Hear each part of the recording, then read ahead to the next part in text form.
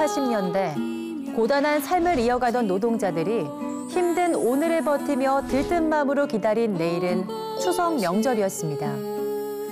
예나 지금이나 우리에게 명절은 애틋한 고향, 그리운 가족의 품으로 돌아가는 시간이죠.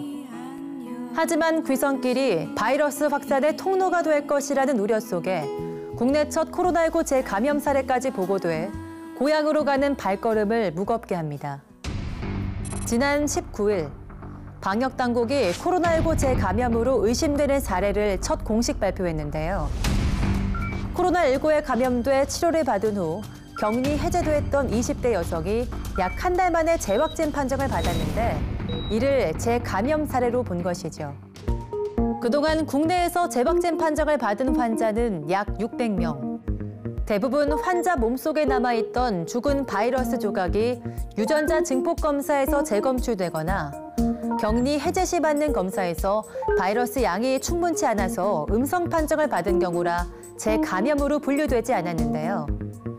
국내 연고진에 의해 처음으로 재감염 의심 환자가 발견된 겁니다.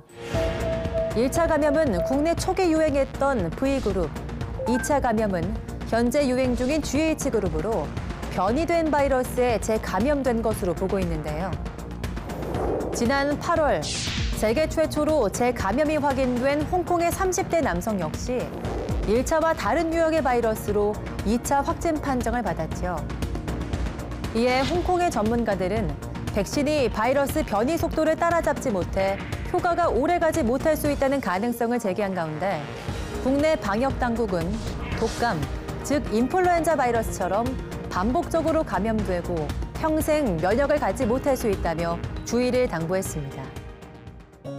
예로부터 보름달은 알갱이가 꽉 찬 핵과일과 닮았다고 해서 풍요와 풍작의 상징으로 또 매달 차고 기울기를 반복하는 모습 때문에 무한한 생명력의 상징으로 여겨졌다고 하죠.